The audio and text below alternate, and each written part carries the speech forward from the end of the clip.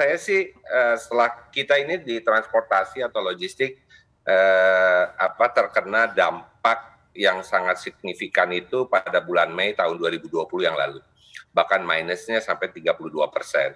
Tapi kita juga berdampak pada pemulihan eh, dari sisi kegiatan pada bulan Agustus September tahun 2020 itu sudah mulai membaik. Seiring waktu itu COVID sudah dimanage dengan cukup baik ya. Dan kalau kita bicara hari ini, situasi kondisinya kita sudah mengalami plus, bahkan kita tahun lalu tumbuh di 6 persen dari sisi eh, kegiatan di logistik eh, pertumbuhan ekonomi sendiri kan kalau tidak salah Budian kita tumbuh di 3,4 persen ya Bu ya 3,4 persen. Nah itu perkiraan kami eh, dari hasil data kami itu mengalami kenaikan di sisi logistik pada tahun yang lalu itu 6 persen. Belum kembali seperti tahun 2019, tapi kondisinya sudah jauh lebih Baik, itu dari sisi pertumbuhan. Lalu bagaimana dengan biaya-biaya logistik? Apakah di saat ini sudah mulai terasa kenaikannya? Logistik sebetulnya kita jauh lebih membaik ya seiring dengan banyaknya infrastruktur yang dilakukan. Nah kemarin ini yang cukup berdampak mungkin terhadap uh, inflasi itu adanya kenaikan freight atau kapal ya itu kenaikannya kan cukup tinggi. Waktu itu kita melihatnya lebih kepada daya saing produk-produk ekspor kita sebetulnya gitu loh. Nah ini sudah kembali turun tapi belum kembali ke semula.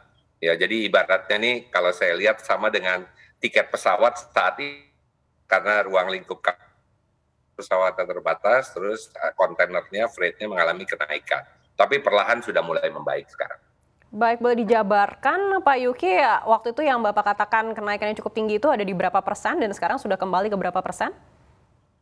Ya, terutama kalau wilayah di kawasan Asia Pasifik itu relatif kenaikannya tidak terlalu signifikan, itu sekitar 20 persen. Tapi untuk yang kawasan di uh, long haul Eropa dan dan apa Amerika itu bisa mencapai uh, eh, 200 persen bahkan gitu loh untuk freightnya. Ini yang kapal ini. Ini realis, realitanya seperti itu gitu loh. Bahkan kita pada tahap awal-awal tahun 2021 juga mengalami kekosongan kontainer. Ya seperti itu. Ya terutama yang untuk long haul untuk long haul. Untuk ke Eropa dan Amerika. Untuk US seperti itu. Baik, apakah bahan bakar ini menjadi pemicu utamanya?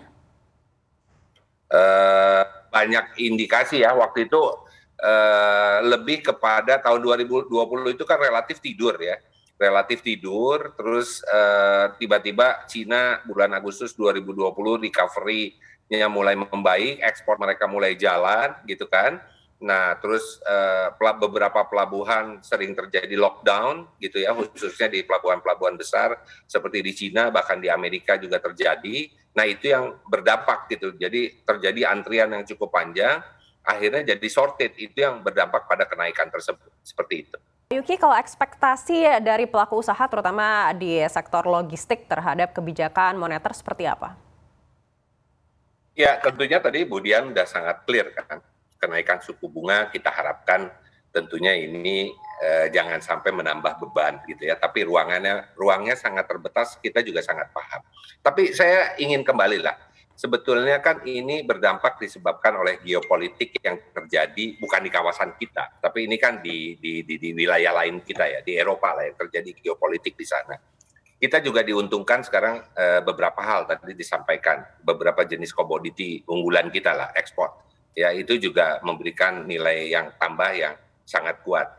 Nah, yang paling penting sekarang tadi juga Budian sampaikan jangan sampai BBM yang bersubsidi ini menghambat karena ada beberapa angkutan barang yang masih mempergunakan subsidi ini gitu ya. Itu juga penyalurannya distribusinya dan lain-lain harus tepat waktu. Itu harapan kami dari sisi pelaku usaha itu yang pertama. Yang kedua kita juga masih tergantung pada konsumsi dan investasi ya Bu ya. Walaupun eh, secara jelas eh, itu kurang lebih 63 persen dan investasi 33 persen. Realisasi investasi tahun lalu, hilirisasi, transformasi, itu juga sesuai dengan target yang digambarkan oleh pemerintah. Jadi di ruang-ruang yang sempit itu saya masih melihat adanya sebuah optimisme justru untuk kita gitu ya, untuk bangkit. Karena kita ini sebetulnya mengalami kejadian ini selain COVID juga sebetulnya akibat perang dagang kita ingat juga ya akibat Cina dan Amerika ada perang dagang gitu loh. Jadi ada ruang-ruang yang kalau kita bisa uh, melihat secara jeli dari sisi pengusaha ini justru akan berdampak dan bagus untuk kita gitu loh. Sebagai sebuah negara yang sekarang ini kita kan posisinya jelas gitu ya presiden ini kan jelas gitu loh. Hanya memang sepakat terhadap beberapa jenis komoditi terutama pangan ini yang tentunya sangat berat. Kita tidak hanya bisa melihat dari sisi perspektif logistik semata tapi mata rantai pasoknya atau supply chain-nya ini kita juga harus kuat gitu loh. Ini yang tentunya eh, terhadap beberapa komoditi seperti gandum misalnya itu juga baik